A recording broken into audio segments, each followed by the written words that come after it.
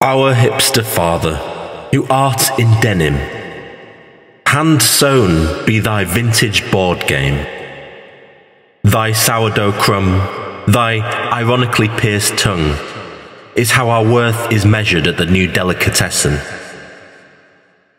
Give us your say on these changing trends, and forgive us our knitting classes, as we relive old TV shows and buy retro trainers and lead us not into the bus station, but deliver us in 1960s Beatles. For mine is the man bun, the gluten free flour on organic calamari, forever in leather. Amen.